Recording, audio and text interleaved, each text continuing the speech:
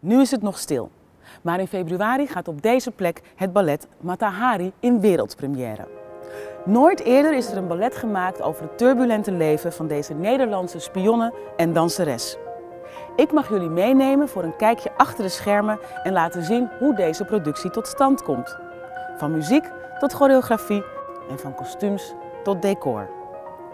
Ook zo benieuwd hoe het Nationale Ballet het ongelofelijke levensverhaal van deze Friese wereldster tot leven wekt? Volg me dan in de vijfdelige serie The Making of Mata Hari.